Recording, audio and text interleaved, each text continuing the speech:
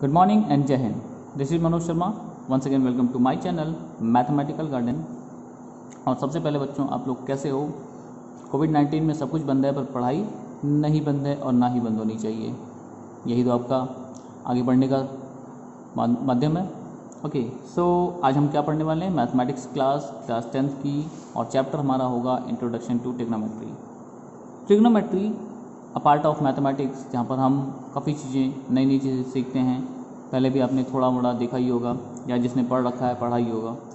तो सबसे पहले हम स्टार्ट करते हैं कि ट्रिग्नोमेट्री यूज़ कहाँ होता है तो ट्रायंगल्स में। कैसे ट्रायंगल्स में? राइट एंगल ट्रायंगल याद रखिएगा राइट एंगल ट्रायंगल तो राइट एंगल ट्रायंगल में हमारा पाइथागोरस थ्योरम भी लगता है। तो यहीं से हम स्टार्ट करते हैं कि पाइथागोरस थ्योरम क्या था, है ना? तो एक राइट एंगल ट्रायंगल लेते हैं like this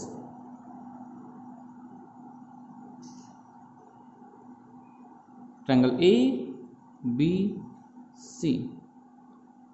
ठीक है? ट्रायंगल ए, बी, सी हमारा एक राइट एंगल ट्रायंगल है, जहाँ पर यह कहा जा रहा है कि एंगल बी क्या है? 90 डिग्री का है। ध्यान रखेंगे 90 डिग्री एक एंगल होना चाहिए, तब कहा जाता है राइट एंगल ट्रायंगल और इस पर पाइथागोरस थ्योरम एप्लीकेबल होता है। वो थ्योरम क्या था? उससे पहले मैं बात करता हूँ कि बेस पपेंडिकुलर और हाइपोटेन्यूज क्या है। तो अभी के लिए आप मान के चलें कि बेस किसे कहते हैं? बेस यानी कि उस ट्रायंगल में जो हॉरिजॉन्टल लाइन है। हॉरिजॉन्टल लाइन कौन सी दिख रही है? मुझे बी सी दिख रही है ना? ये बी सी हमारा कैसा है? हॉरिजॉन्टल हॉरिजॉन्टल लाइन ये है। ये हमारे पास ए बी कैसा है? ये वर्टिकल है। वर्टिकल अब ये horizontal line and vertical line क्या होती है बेटा? ठीक है? हमारी जो धरती है, यानी कि सरफेस जो उसका है, उस सरफेस से हम कोई एक ऐसी लाइन लें जो उसके पैरल दिखे। ठीक है? तो हम यहाँ मान लेते हैं अर्थ सरफेस है। ठीक है? हमने कहा इसके पैरल ये लाइन दिख रही है, ये हॉरिजॉन्टल लाइन है। और जो उसके परपेंडिकुलर दिख रही है परपेंडिकुलर मतलब अर्थ सरफेस के जस्ट परपेंडिकुलर कैसा होगा? ऐसा होगा। परपेंडिकुलर है ना? सो वो कैसा दिख रहा है? ए बी दिख रहा है। तो ए बी वर्टिकल अभी तक हम ये पढ़ते आए हैं। तो किसी राइट एंगल ट्रायंगल में जो हमारा आ, कह सकते हैं कि ये हॉरिजेंटल लाइन है और ये वर्टिकल लाइन है उसके साथ एक लाइन और होती है जिसको हम क्या कहते हैं? हाइपोटेनियस क्या कहते हैं? हाइपोटेनियस ठीक है? हाइपोटेनियस अब हमारा पाइथागोरस थ्योरम क्या कहता था? सबसे पहले इसकी बात करते हैं। तो पाइथागोरस थ्योरम कहता था कि किसी भी राइट एंगल ट्रायंगल में square of sum sum of square of two sides sum of square of two sides is equal to the square of hypotenuse तो यहाँ पर टू साइड्स कौन से? जो एक दूसरे के परपेंडिकुलर हैं, यानी कि वर्टिकल साइड तो सिंपल सा लॉजिक ए बी का स्क्वायर प्लस बी सी का square is equal to A C का स्क्वायर ये हमारा पाइथागोरस थ्योरम कहता था। कहीं भी आपको राइट एंगल ट्रायंगल मिलता है तो उनमें ये रिलेशन हमेशा प्रूव होता रहेगा। कोई भी वैल्यू ले ली जाए बी सी की ए बी की, या फिर उसके साथ ए सी जो भी आएगा, वो इसी पाइथागोरस को क्या करेगा? सेटिस्फाई करेगा। ठीक है? एक बात तो यहाँ पर हो गई। अब इस हॉरिजॉन्टल लाइन को हम और क्या बोलते थे? बोलते थे बेस क्या बोलते थे? बेस बोलते थे कि नहीं? इस वर्टिकल लाइन को हम लोग क्या बोलते थे? वर्टिकल लाइन को क्या बोलते थे? Perpendicular so perpendicular is this and then hypotenuse is this जो स्लैंट लाइन है हमारी हाइपोटेनियस हो गई. वर्टिकल लाइन परपेंडिकुलर हो गया और हॉरिजॉन्टल लाइन बेस हो गया. ठीक है? तो हम इनको ऐसे भी कहते थे कि P square plus B square is equal to H square it means perpendicular का स्क्वायर प्लस बेस का square is equal to hypotenuse का स्क्वायर अब इसी राइट एंगल ट्रायंगल में हमारा टिग्नोमेट्री यूज़ होता है। कहता है कि कोई भी राइट एंगल ट्रायंगल है तो हमारे पास उसमें कुछ टिग्नोमेट्रिक रेशियोज जो हमारे टिग्नोमेट्रिक के फ़ंक्शन है। फ़ंक्शन कौन से हैं? पहले हम ये जान लें। तो फ़ंक्शन हमारे पास कुछ नाम यहाँ पर आते हैं लाइक साइन ठीक है? कॉस टेन अब ये क्या है अभी बताता हूँ, धीरे धीरे वन बाय वन है ना? टेन उसके बाद कॉसेक सी ओ है ना? Cosec then sec then cot ये हमारे पास यहाँ पर कुछ नाम है इसके लिए अब ये क्या करते हैं? इनका पहला तो ये जान लीजिए कि इनका पूरा नाम क्या होता है। ये सिंबल हम यूज़ करते हैं, ये नाम हम यूज़ करते हैं, पर इनका पूरा सिंबल क्या होता है? Like sine S I N E होता है। कॉस का मतलब कोसाइन ठीक है, पूरा नाम ये है। ये याद रखेंगे ज़रूर, कभी भूलेंगे नहीं। टेन का टेंजेंट कॉस का कॉसेकेंट सेक का सेकेंड और कॉट का कॉट का क्या होता है? नहीं पता। को टेंजेंट ठीक है? ये हमारे पास फ़ंक्शन है इन द टिग्नोमेट्री ठीक है? अब ये कैसे यूज़ होते हैं, कहाँ यूज़ होते हैं, क्या मतलब है इनका, समझाते हैं। तो सबसे पहले बात करते हैं, जब हम कह रहे हैं कि ट्रायंगल वो भी राइट एंगल ट्रायंगल में यूज़ होता है तो कैसे होता है? A B and C correct आइए, थोड़ा सा इस तरह से कर लेते हैं, अच्छे से दिखेगा। ओके अब, पहले तो हमने पाइथागोरस थ्योरम के हिसाब से बताया हॉरिजॉन्टल लाइन बेस है और वर्टिकल लाइन हमारा परपेंडिकुलर है। दिख रहा है ना? अब यहाँ पर ट्रायंगल टिग्नोमेट्री में एक चीज़ याद रखिएगा हमेशा।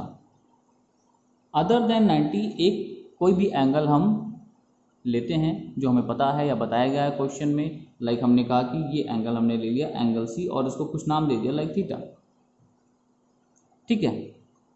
अब यहाँ पर बहुत ध्यान से एक बात सुनिएगा कि हम बेस लाइन और परपेंडिकुलर लाइन किसको बोल रहे हैं? ये बहुत इंपॉर्टेंट है। बेस और परपेंडिकुलर तो जो भी एंगल साइड इस एंगल के, जो एंगल हम लेकर चल रहे हैं, जिस एंगल के बारे में बात कर रहे हैं, उसके सामने हो एंगल के सामने वाली साइड, फिर से सुने, एंगल के सामने वाली साइड क्या कहलाती है? परपेंडिकुलर। और एंगल के साथ वाली वो साइड, देखो इसको नहीं लेना, ये तो हाइपोटेनियस है, इसका कोई दिक्कत नहीं है। इसमें बात हो रही है बेस और परपेंडिकुलर में तो एंगल के साथ वाली साइड बेस आप कहोगे सर सेम है तो थोड़ा सा फिर से चेंज करके एक फिगर बनाता हूँ, और ध्यान से देखिएगा। फिर से एक फिगर हमने बनाया। Angle P triangle P Q R जहाँ पर क्यू पर वो क्या है? 90 डिग्री है। एंगल इस बार हमने ये लिया, इसको मान लिया समथिंग थीटा अब इस एंगल के सामने कौन सी साइड आ रही है? क्यू आर आ रही है ना? तो क्यू आर हमारा परपेंडिकुलर है। देखो फिगर हम कैसे भी घुमा सकते हैं भाई। तो इसलिए बताया जा रहा है कि एंगल के हिसाब से बात करेंगे। एंगल के सामने वाली साइड परपेंडिकुलर और एंगल के साथ वाली साइड बेस और हाइपोटेनियस जो हमारा है, वो तो हाइपोटेनियस है ही है, उसमें कोई दिक्कत नहीं है। तो इतनी बात समझ में आ गई? चलिए, और इनके कुछ टिग्नोमेट्रिक फ़ंक्शन जो हमारे पास हैं, इनके कुछ नाम याद हो गए? बहुत अच्छी बात। अभी नाम को कैसे यूज़ करना है, ज़रा सा ध्यान से देखेंगे। आइए पढ़ते हैं टिग्नोमेट्रिक रेशियोज़ तो टिग्नोमेट्रिक रेशियोज क्या कहता है कि एक राइट एंगल ट्रायंगल में ए बी सी मान लीजिए हमने ले लिया।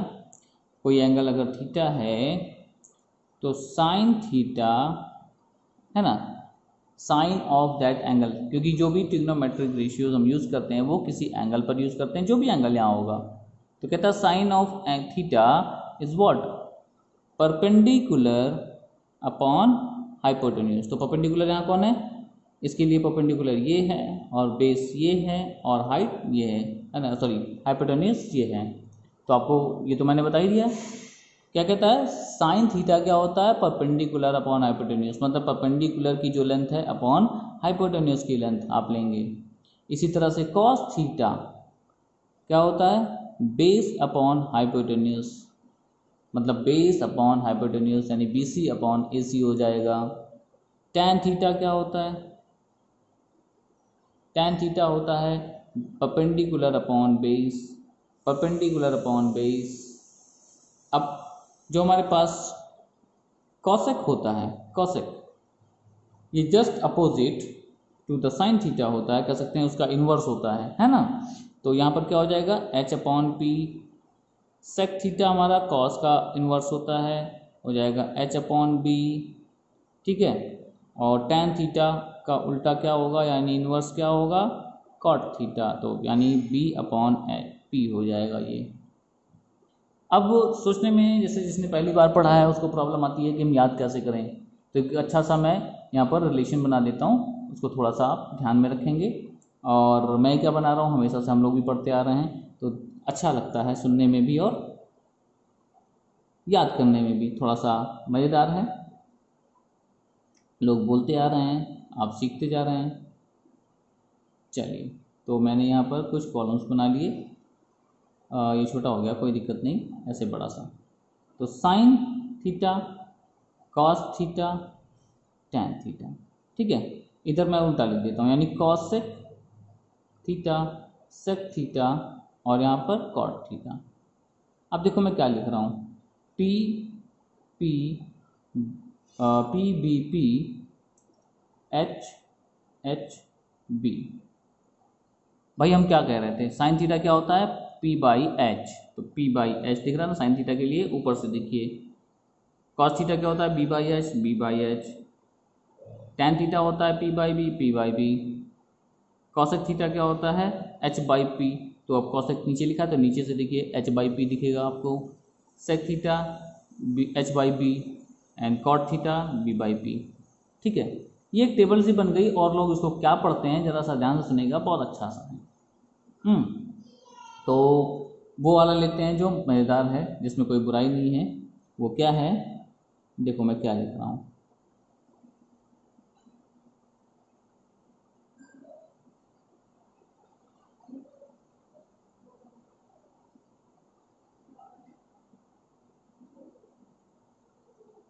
पंडित बद्री प्रसाद हर हर बोले। आप देखो यहाँ पर क्या बन रहा है? पंडित बद्री प्रसाद हर हर बोले। इतना सा एक, कह सकते हैं कि लाइन याद रखिए तो आपका ये हमेशा याद रहेगा। साइन कॉस टेन उसका साइन का उल्टा कॉसेक कॉसेक का उल्टा कॉस का उल्टा सेक, एंड टेन का उल्टा कॉट। पंडित बद्री प्रसाद हर हर बोले। पंडित पी, बद्री बी, पंडित प्रसाद पी, हर हर एच, एंड बोली मीन्स बी ठीक है? तो perpendicular upon hypotenuse base upon hypotenuse perpendicular upon base cosec से लेकर बात करेंगे तो हाइपोटेनियस अपॉन परपेंडिकुलर सेक की बात करेंगे hypotenuse upon base and cot की बात करेंगे तो सॉरी बेस अपॉन परपेंडिकुलर अच्छा है? इसे कहते हैं टिग्नोमेट्रिक रेशियोज ठीक है? अब इस पर बहुत सारे डिपेंडेंट आपको क्वेश्चन मिलते हैं लाइक क्या कैसे हो सकता है? तो हमने क्या बोला कि साइन थीटा, ठीक है, इसका इन्वर्स कौन है? Cos theta. भाई कॉसेक थीटा का इन्वर्स कौन होगा? है ना, उल्टा यानी कह सकते हैं रेसिप्रोकल अगर हम लेते हैं वन अपॉन करके तो साइन थीटा बनता है। अब ये सब बातें कैसे हैं? इसका उल्टा, है ना? उल्टा मीन्स जैसे मैंने अभी लिखा तो ये हमारा एक आइडेंटिटी है इसको हम प्रूव भी करेंगे कैसे आया। कॉस का उल्टा कौन होता है भाई? कॉस थीटा का। तो वन बाई सेक थीटा या सेक थीटा का कौन होता है? One by cos theta similarly tan theta का उल्टा कौन होता है? तो वन बाई कॉट थीटा और कॉट थीटा का उल्टा कौन होगा? वन बाई टेन थीटा एक दूसरे के। कैसे? साइन थीटा आप क्या लिखते हैं? आप लिखते हैं पी बाई एच ठीक है, वन अपॉन ले लीजिए। वन अपॉन लेके देखिए तो सही। वन अपॉन लिया दोनों side one upon sine theta is equal to one upon P by H है ना? रेसिप्रोकल लिया कि नहीं? करेक्ट यहाँ तक कोई प्रॉब्लम आगे बात करते हैं। तो one by sine theta is equal to H ऊपर जाएगा एच बाई पी और एच बाई पी कौन होता है? जरा ध्यान से देखेंगे। एच बाई पी होता है cos theta so one upon sine theta is equal to cos theta अब आप चाहे sine theta is equal to one by cosec theta बोलिए, चाहे one by sine theta is equal to cosec theta similarly all these clear तो ये है trigonometric ratios starting में, और जो भी प्रॉब्लम आएगी, फिर आगे बात करेंगे। तब तक आप इसे रिवाइज करिए, जो भी इसके रिलेटेड प्रॉब्लम्स आपको दिख रही हैं। सॉल्व कर सकते हैं तो सॉल्व करिए। और बाकी की चीज़ें नेक्स्ट वीडियो में। थैंक यू फॉर वॉचिंग जय हिंद